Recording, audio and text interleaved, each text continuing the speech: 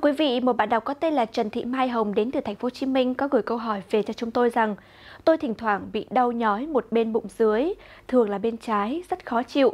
Tình trạng này thường xảy ra vào gần ngày kỳ kinh. Những lúc như thế tôi phải uống thuốc giảm đau từ 3 cho đến 4 ngày. Cho tôi hỏi tôi đã bị bệnh gì và phải điều trị như thế nào. Dưới đây là giải đáp đến từ bác sĩ chuyên khoa 2 Bùi Thị Phương Loan, khoa phụ sản Bệnh viện Đại học Y Dược thành phố Hồ Chí Minh. Mời quý vị cùng theo dõi. Trường hợp của bà là một trong những triệu chứng rất hay gặp ở phụ nữ tuổi sinh sản, thường được gọi là thống kinh, có nghĩa là đau bụng quanh chu kỳ kinh. Phần lớn đây là những triệu chứng không nằm trong bệnh lý thực thể nào nghiêm trọng.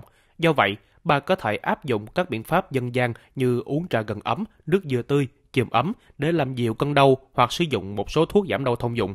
Tuy nhiên, thỉnh thoảng cũng có vài trường hợp có các khối u lành tính ở tử cung, buồng trứng.